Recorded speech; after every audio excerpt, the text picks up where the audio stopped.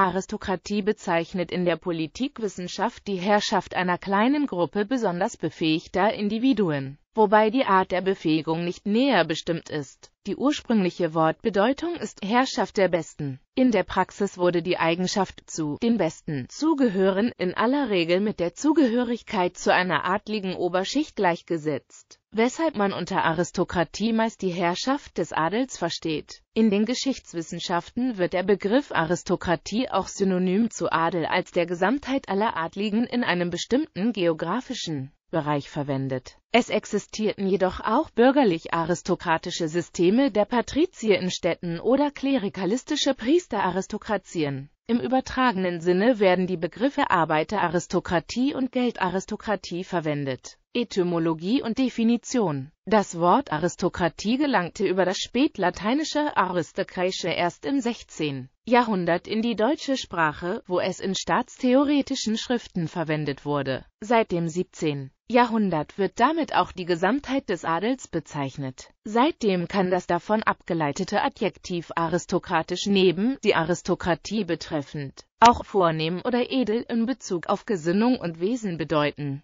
Aristokratie bedeutet demnach in der klassischen Verfassungstypenlehre des Aristoteles die Herrschaft der Besten der Tugend oder der Tüchtigkeit. Im Gegensatz dazu steht nach Aristoteles die Oligarchie die Machtausübung durch eine Minderheit, die die Macht an sich gerissen hat und den eigenen Vorteil sucht. Eine Herrschaftsform, in der der Adel oder eine andere Oberschicht wie das Bürgertum in der Städtearistokratie oder Priester in der Priesteraristokratie die Macht ausüben. Hier sind die Besten in der Regel die durch ihre Herkunft oder durch ihre obrigkeitliche Einsetzung in Ämter Berechtigten. In der Neuzeit eine Bezeichnung für die Angehörigen des Adels in Abgrenzung zu Klerus und Bürgertum. Historische Theoriebildung Die Aristokratie bei Platon ist die am Gemeinwohl orientierte idealtypische Herrschaft der Besten. Diese Idee wurde zunächst von seinem Schüler Aristoteles und später vom griechischen Historiker Polybios weiterentwickelt. Sie fällt wie die Oligarchie unter die Herrschaft der wenigen, wobei die Oligarchie als die am Eigennutz weniger ausgerichtete Herrschaftsform definiert ist. Grundsätzlich bestand in der Staatstheorie seit Platon die Idee, dass jede am Gemeinwohl orientierte Herrschaftsform ein entartetes, nur an den Interessen der Herrschenden orientiertes Gegenstück hat. Diese Theorie der Verfassungsformen ist aus der Beobachtung und Analyse der Politik antiker griechischer Stadtstaaten abstrahiert. Empirisch haben die Autoren dagegen vor allem Mischformen gefunden Grundformen der Verfassungen aus der Erkenntnis heraus, dass diese sechs Grundformen der Verfassungen notwendigerweise instabil sind, hat vor allem Polybius die Idee des Verfassungskreislaufs entwickelt, die diese Herrschaftsformen zueinander in Beziehung setzt.